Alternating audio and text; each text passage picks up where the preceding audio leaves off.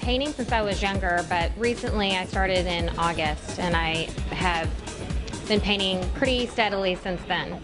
Most of my inspiration comes from natural, organic. It's just loose feeling, it's natural with a flow, and uh, most of it just comes from the things that are around us and the things that we know.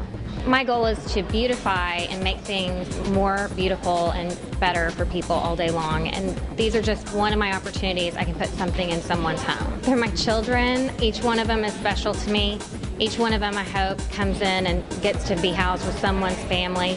And I hope that that's what they are for those people. Tonight, I'm debuting some acrylics with heavy texture.